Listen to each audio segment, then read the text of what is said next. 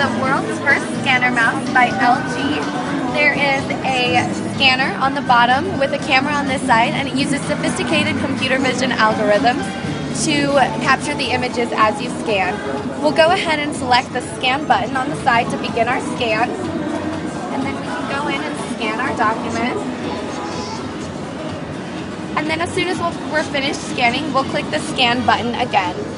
Once we do that, it will bring us to this screen where we can crop our image and select whatever portion we want. We're able, oh, we actually want a bigger portion than that so that I can show you how it rotates. You can rotate it any which way you'd like.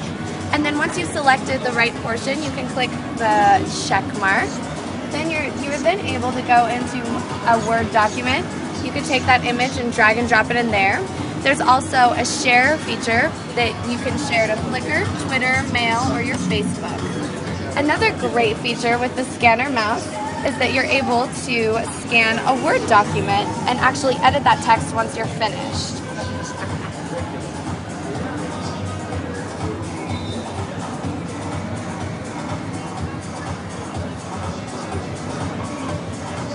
So once you've finished with that, you click the scan button again and it'll actually straighten out and get that text for you.